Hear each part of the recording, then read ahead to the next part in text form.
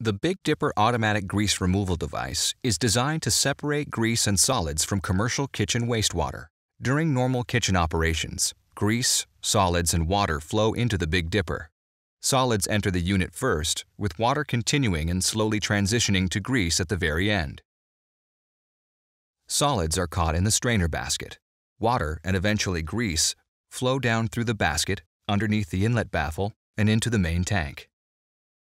Grease rises to the top. Water is picked up off the bottom and flows out of the outlet baffle. The operation of the unit is controlled by the user interface on the electrical assembly. Different settings are available in normal operation mode, which will periodically skim grease from the tank.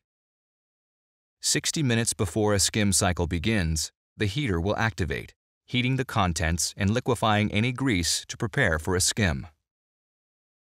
When the skim cycle begins, the skimming wheel will run through the grease, which will stick to the sides.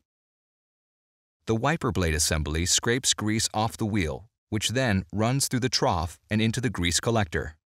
No single skim will last more than 60 minutes. In setting 5 and in extreme run settings, the Big Dipper will skim multiple times throughout the day to achieve the total skim time indicated.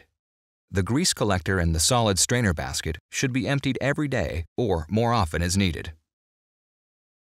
Visit the Big Dipper website or contact Thermaco for additional information.